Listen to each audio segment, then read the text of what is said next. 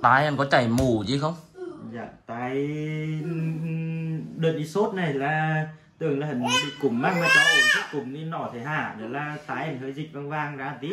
Da dịch vàng dạ là mày đại thì chắc là viêm tay dừa tái lại. Tức là đợt trước cũng bị đó à? dạ thì trước cũng bị. Tức là đi đi đợt trước là cách đấy lâu chưa? Ừm, chắc được hơn tháng rồi hơn tháng Dạ. là bị dạ. Bị rồi là dùng thuốc đúng không? Dạ. là hẳn lại đỡ dạ khi nào là dùng thuốc? Đây à dùng kháng sinh à? Dạ kháng sinh thì thuốc cho cả thuốc uống này về thuốc nhỏ tí á ừ. là về đỡ được uh, tháng. Giờ lại bị lại Dạ. đúng không? Giờ mà dùng tiếp thì có nguy cơ lại cũng lại bị lại. Dạ, rồi. Ờ. khi mà máy cái chi để giới thiệu lên như cùng xin là là nhà em nó chưa biết đi ờ.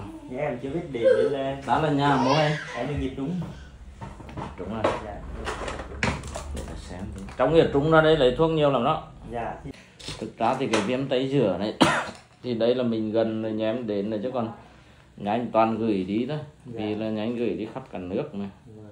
Mà giờ nó chảy ra bên nha ờ hay là cả hai tay ờ, thanh niên tay phải em không không nhớ đến đây rồi một thanh niên là bị ờ, bị một bên. Hai hai hai đứa bị hai bên khác bữa đấy sổ mùi nhiều không? dạ có. Bữa ngày ní này ngày ní là thấy nổi này. Bữa qua đêm qua là mẹ nói là dịch vàng là lấy uh, tắm bấm soi á là có gì đấy thì ờ, cái viêm tay rửa này thì thường trẻ con là gần như ai cũng cũng cũng, bị quá đấy. Dạ như con bé nhà anh nó cũng cũng cũng bị đó. Dạ đấy thì cái viêm tay rửa này thì ờ, mình mà không điều trị đúng ờ, nữa là hẳn cứ tái đi tái lại. Có những người bị hàng mấy năm trời như vậy nó cứ lẹt xẹp. Thì cái này thì cái mình hiểu để về mình giữ này tức là cái gốc bệnh của nó là từ cái khu vực mũi với họng đấy dạ. Hẳn cứ viêm mà thường thì tôi cứ cho ra ngoài chơi đi được. Thường thì cái tuổi đang nhỏ á là cái sức đề kháng nó đang kém cho nên những tác nhân gây bệnh từ bên ngoài nó liên tục vào cơ thể và thì cơ thể sức đề kháng kém thì hắn cứ bị là viêm mũi đấy, rồi là viêm họng. Rồi từ cái viêm mũi viêm họng này mà nó dẫn đến cái viêm tai. Cho nên là muốn điều trị nó thì mình phải giải quyết được cả mũi và cả tai. Đấy.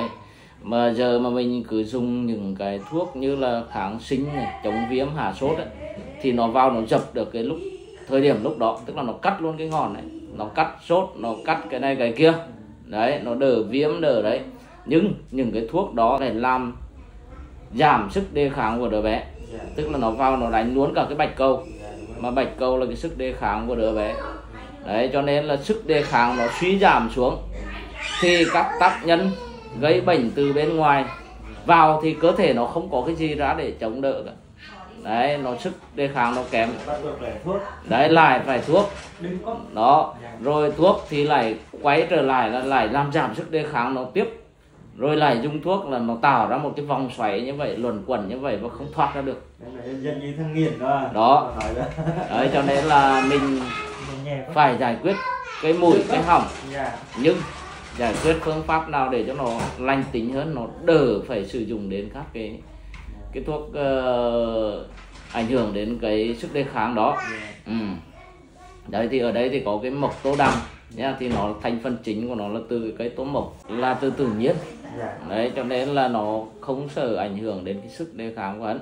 Và cái này thì về mình nhỏ thôi mình làm sạch cái mũi nếu như nó có sổ mũi thì mình cứ xịt rửa bằng nước muối sinh lý nha đó thì mình à, nhỏ mũi đấy còn nếu như thấy mù nó chảy ra thì mình làm sạch mù ở trong tai rồi mình mới nhỏ.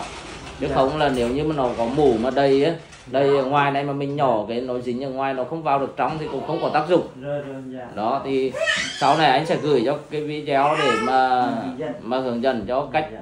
hoặc là em lên youtube em đánh là mà viêm tay giữa và bác sĩ làm khôi thì hắn cũng có những cái video anh làm hướng dẫn đó nha. Đấy thì về với lại là trong cái tờ hướng dẫn sử dụng cũng có. À, ừ, thì em, em cứ đọc theo trong hướng dẫn em nhỏ theo cái hướng dẫn sử dụng là được. Mình có thể là dùng kết hợp với lại là cái à, là cái cao bách ho cái nấu- nấu từ cái bách bổ ra thì nó sẽ giúp mảnh cái đường hô hấp của nó lên. Đấy và nó làm tăng cái sức đề kháng của hắn lên. Thì có thể mình sẽ kết hợp với dùng cái đó. Đấy thì uh, tăng sức đề kháng lên với điều trị như thế này thì nó sẽ hạn chế cái việc tái đi tái lại. Ừ, đó thì lát nữa thì mình ra đó để lấy cái thuốc về cho bé dùng thôi nha. Ừ. đó rồi có vấn đề gì mà thắc mắc hay có gì thì em cứ nhắn qua bên fanpage bác sĩ lá văn khôi nha. Rồi là anh sẽ hướng dẫn tư vấn thêm cho. Ừ. hả? Chứ. Ai? Đi là đến lượt Có. nhưng